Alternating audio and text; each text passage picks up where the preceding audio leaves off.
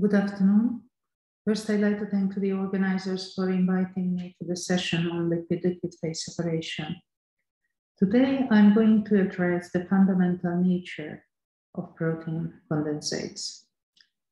As more and more proteins are being discovered to undergo liquid-liquid phase separation, it's also becoming more intriguing whether this is a property of distinguished set of classes of proteins, or instead it is a general cellular mechanism which contributes to the organization and biological activities of cellular matter.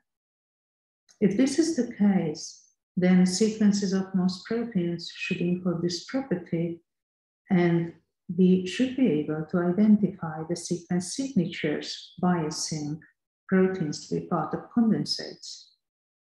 In addition, we need to understand those molecular mechanisms which enable proteins to safely explore to be part of condensates and also identify those conditions when condensates become aberrant and lead to dysfunction.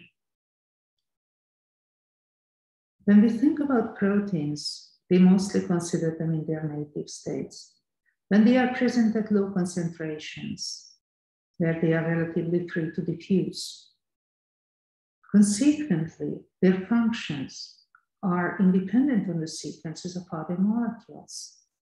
So we may put forward a deterministic relationship between intrinsic sequence properties of proteins and their biological functionalities. In their native states, proteins are either monomeric or form stoichiometric complexes. Therefore, function is determined by either intramolecular interactions, or I would say mostly intramolecular interactions, or by the distinguished set of intermolecular contacts which are established with a selected partner. Proteins may be fully ordered in their native state or can be conformationally heterogeneous and basically sample the whole continuum. In the cell, the situation is quite different because proteins are present at high concentrations and they are not free to diffuse. Therefore, their function is becoming dependent on the sequences of other molecules that may interfere with biological activities directly or generate stochastic signals or noise to interfere with function. Therefore, in the cell, it is the collective behavior many different kinds of proteins that determine the biological activity. In the cell, proteins form non-stoichiometric assemblies, which may sample a wide range of dynamics and material states from a solid-like amyloid state to a liquid-like droplet state, and sampling the whole continuum with many different kinds of uh, signaling complexes function is determined by a collective behavior, which is generated from both intra and intermolecular interactions. And as you will see, these intermolecular interactions are much less defined than in case of stoichiometric assemblies. The native state of proteins is thermodynamically favored at low concentrations. However, at high concentrations, it is the amyloid state, which is the most stable one. The native state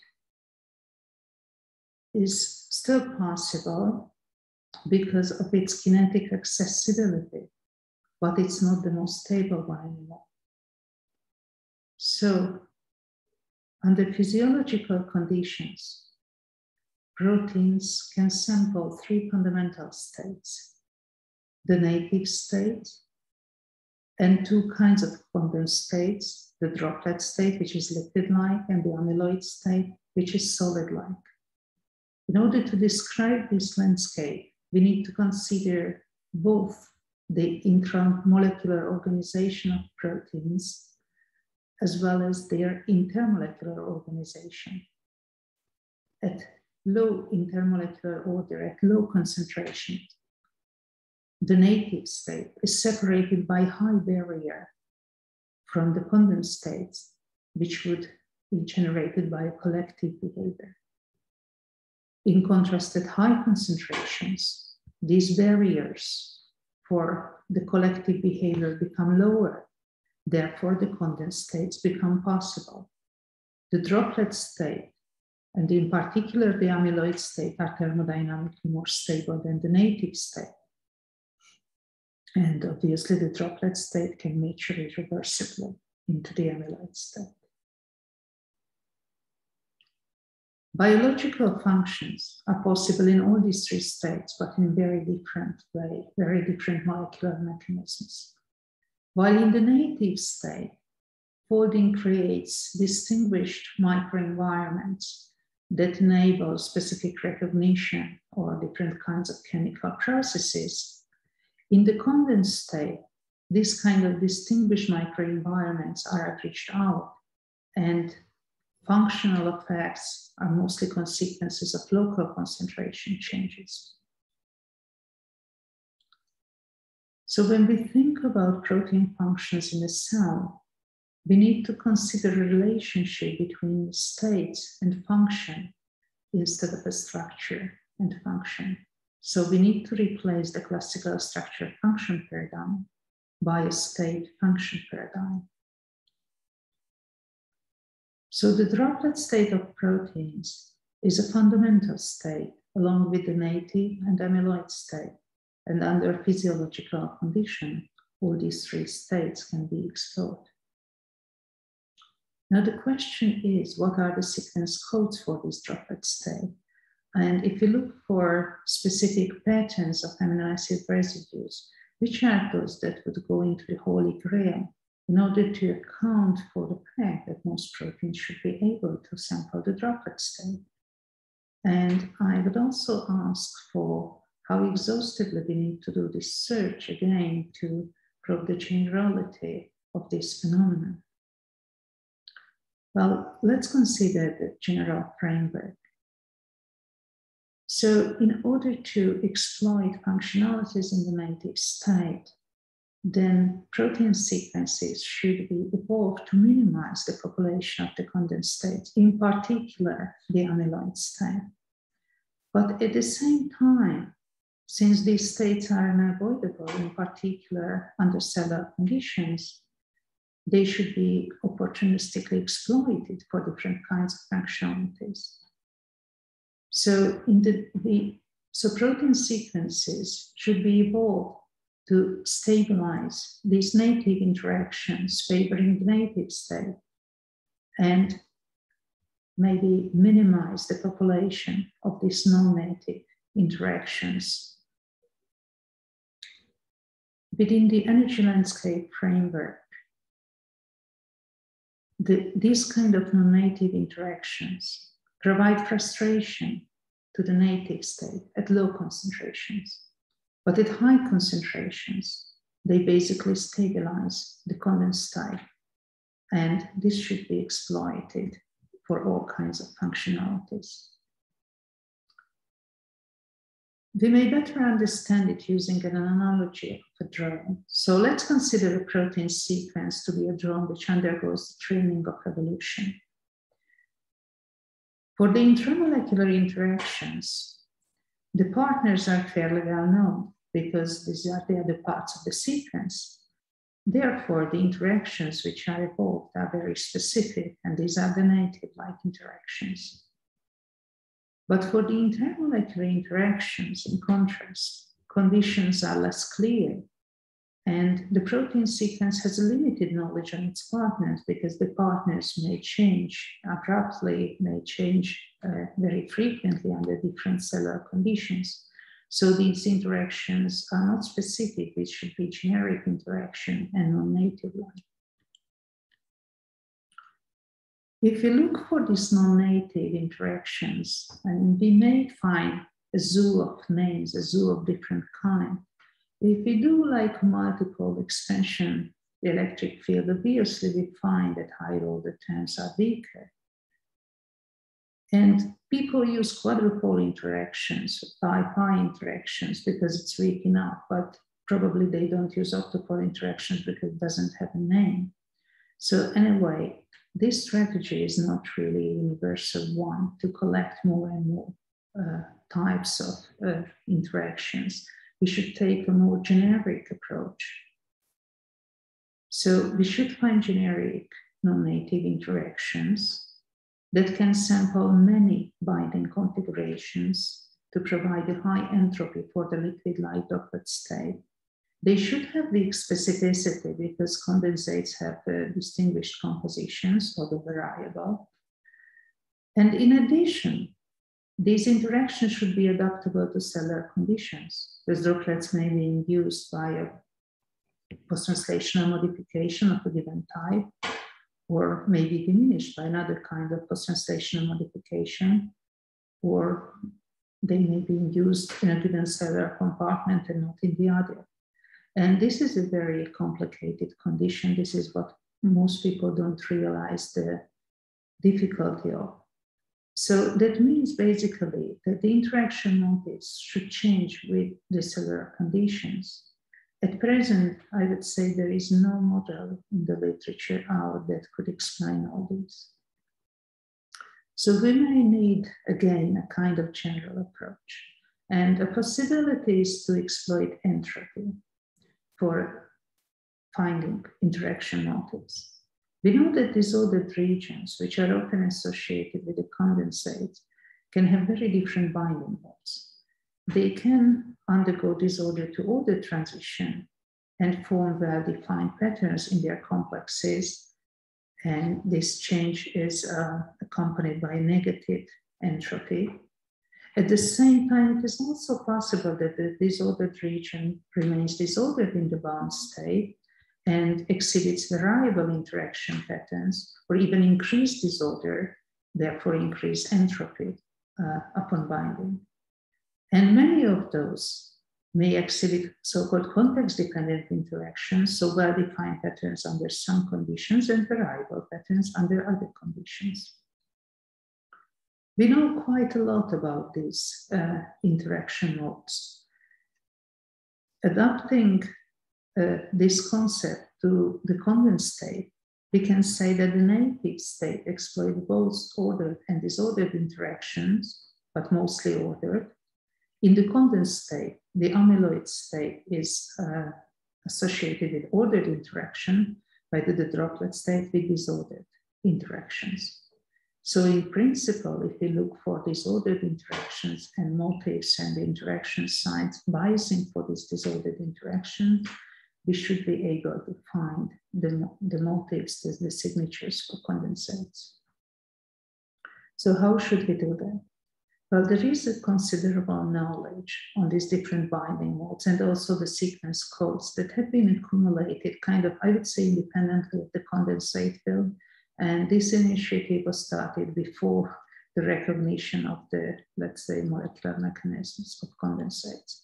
So we have thousands of protein complexes well characterized along the spectrum of entropy from negative to positive entropy change, combining and also the interaction patterns from well-defined more heterogeneous uh, patterns.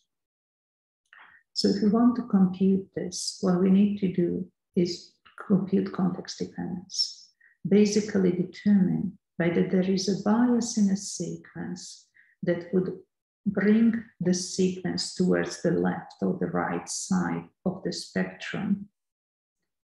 And what we need to do for this is to examine possible interaction motives and compare to their flanking sequences and see whether there is a bias.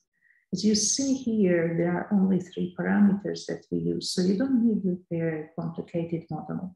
Here, the local dynamics, composition, and hydrophobicity was considered.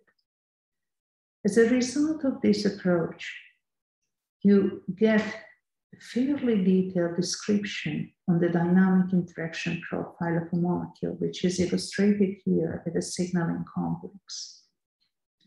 So in this one, uh, a part, the consensus part of the interaction site, which is, is considered to be the concept, the interaction motif, is reasonably stable. But there is a very important secondary is very dynamic. Here, you can see that this second part has a moderate degree of ordering. So we can give on a continuous scale the degree of ordering upon binding. And what you get out of this analysis, in addition to the so-called binding mode that is dependent on the degree of ordering, so you can apply binary classification, but also this kind of continuous scale. You may also get information on the binding mode diversity of particular protein regions. That means whether they can vary their interaction modes between disordered and ordered interaction, which will be highly important when we talk about aggregation in condensates. So using this approach, we may describe the interaction in condensates as disordered interactions and for parametrizing a method, we used only one more term, which uh, was basically characteristics, a measure of the disorder in the free state. So using these two terms, we could identify regions which promote droplet formation. These are droplet promoting propensities, again, on a scale from zero to one. Uh, this is illustrated here with alpha synuclein, where the C-terminal region uh, promotes droplet formation. However, when you look for the droplet formation probability of a whole protein, not just the region, you need to consider that some proteins can form droplets standalone, whereas others may have droplet promoting regions, but require other proteins, some kind of induction to be part of condensates. These secondary ones are the clients. This kind of nucleation condensation, by the way, is a very general property of all higher order states. So how can we distinguish these two scenarios, drivers and clients? Well, here, in addition to these droplet promoting regions, we need to add some other factors. This is illustrated here with alpha synuclein and beta synuclein. So alpha synuclein can form droplets 20 degrees. Beta synuclein requires a bit of temperature increase in order to do that. And although both of them have a droplet promoting region, what beta synuclein misses is a hydrophobic patch in the middle that would provide additional stability of a droplet standalone. If we account for this effect, then we may distinguish between droplet formation probability of these two proteins and obviously many others. So in our method, the limit for droplet formation is this uh, 0.6.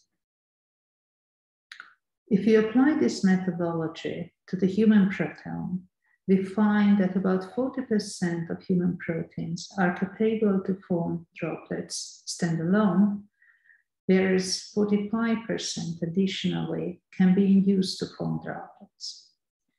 The significance of these predictions are that basically it proves the principle that generic interactions, which bias for disordered interactions, many binding configurations, are responsible for droplet formation instead of some specific patterns.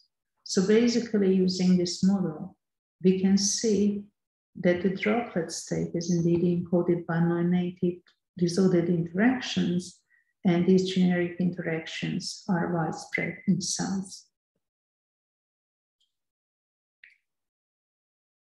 What about aberrant condensates? Definitely, these non-native interactions may bring a risk many different kinds, aggregation, toxicity, promiscuous interactions, mislocalization, many, many others. All due to the fact that they are highly context dependent. These are non-native interactions. These can be induced under many different contexts.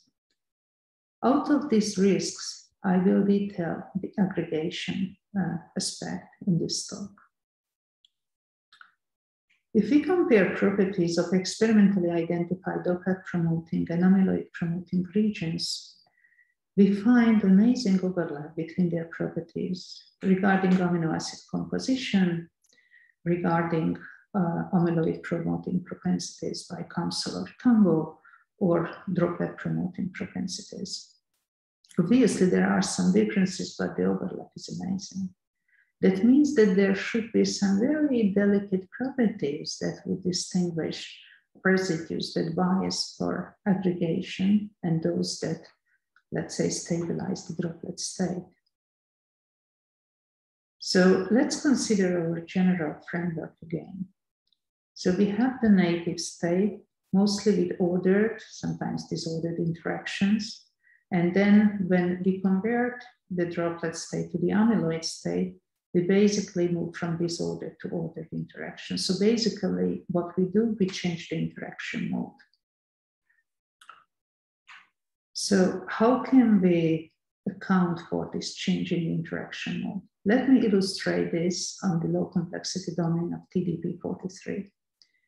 If we consider the interaction properties, the interaction behavior of different hypothetical regions, or basically involving all residues, under many different conditions, we find that they may sample both disordered interactions and ordered interactions.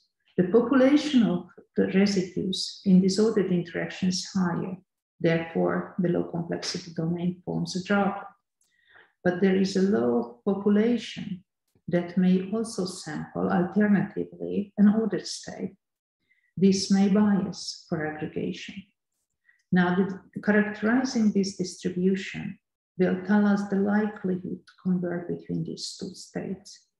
We may use the Shannon entropy from the information theory that would basically tell us the likelihood to change between the two states. Let me illustrate this. We call it a droplet landscape approach. So on the x-axis, you see the droplet promoting propensity of residues, whereas on the y-axis, you see the likelihood to change the interaction modes. The residues that are sitting here, bottom right, they have very high droplet promoting propensity and very low Shannon entropies, very low binding mode entropy. So they don't want to change their binding mode. They remain disordered binding. They remain in the droplet. The ones that are here have slightly lower droplet uh, promoting propensity, but have considerably higher binding mode entropy. That means they tend to move from order, from disorder to ordered binding mode. And the ones here with light green, they are actually the ones that are part of the amyloid core of TDP43. So basically, this kind of approach would tell us that which residues tend to bias uh, the condensed uh, state for aggregation. So this is a concept we put forward, and we thought to quantify it, we, we thought to apply it for predictions. Basically, this would explain why fibrils grow really gradually. So it's not an immediate uh, process, right? You have liquid drop upon familial mutations. You have liquid droplets for a while, and they gradually start to fibrilize. They are gradually shifted towards more ordered binding modes. So what we did was we took experiments from the Myung lab on FUS, single mutations, some are associated with ALS, some not, which were systematically studied with respect to their impact on aggregation propensities.